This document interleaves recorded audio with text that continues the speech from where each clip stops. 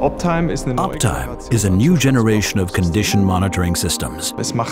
It makes it much easier to monitor a large number of machines cost effectively. It's now possible to run condition monitoring on a large scale. That means having transparency on machine health for all machines and installations.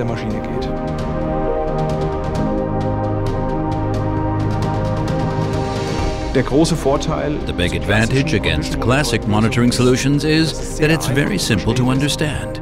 I don't need any prior knowledge in the field of vibration analysis. Anyone can understand the precise results from OPTIME and then make the right decisions. You don't need complex integration into local IT systems. You can use the gateway with SIM card to send the data to our cloud and then directly receive analysis and results. And that's why we talk about plug, play, predict. As an operator of over 70 plants worldwide, we know how bad an unplanned downtime can be and how high the resulting costs can mount up. But we also know there are customers in other sectors who are under far greater pressure and can suffer even higher resulting costs.